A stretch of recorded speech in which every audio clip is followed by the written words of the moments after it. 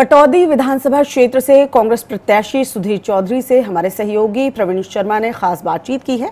सुधीर चौधरी ने बीजेपी पर विकास के नाम पर छल करने का आरोप लगाया है। उन्होंने कहा है कि पटौदी में पिछले पाँच साल में कोई भी विकास का कार्य नहीं हुआ है।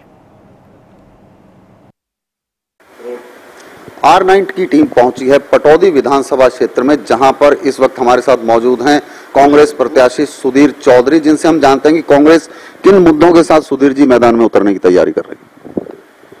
देखो, जैसा आप जानते हैं कि कांग्रेस हमेशा सच्चे मुद्दे ही लेकर आती है।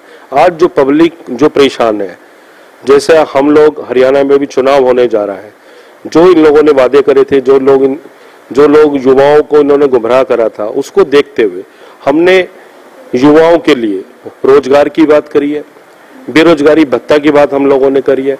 महिलाओं को जो बस होगी उसमें टिकट नहीं लेनी पड़ेगी। ठीक है जी? किसानों को जो बिजली का, का बिल है उसमें इजाफा होगा। और जो आम घरों की जो बिजली है उसमें हाफ़ रेट का हम लोगों ने बोला है।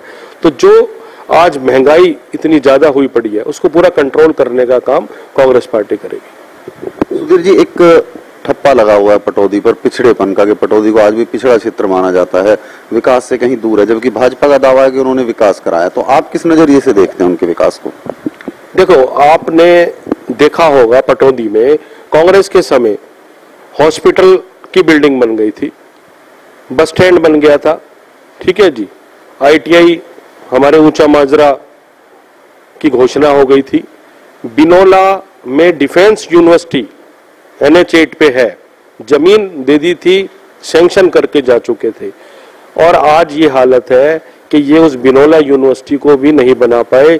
जो कांग्रेस के समय अप्रूवल दे दी, ज़मीन दे दी तो कहीं ना कहीं इनकी नीयत में खोट था। दूसरा आप देखेंगे, बस स्टैंड आप जाकर देख लीजिए, बस स्टैंड में कोई बस नहीं चल रही है। जब इनको करा कराई बिल्डिंग मिल गई तो यहाँ पर बस दुरुस्त करानी थी। 50 बेड का हॉस्पिटल बना था।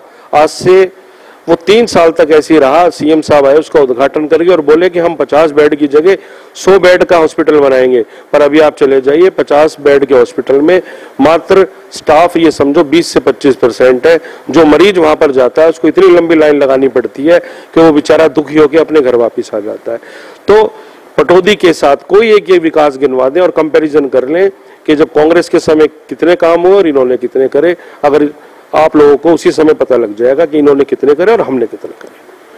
तो ये थे हमारे साथ सुधीर चौधरी, जिनका साफ़ कहना है कि पाँच साल में भाजपा ने पटौदी को छला है और अगर उनकी सरकार आती है तो पटौदी के विकास को ऊंचाइयों पर ले जाया जाएगा।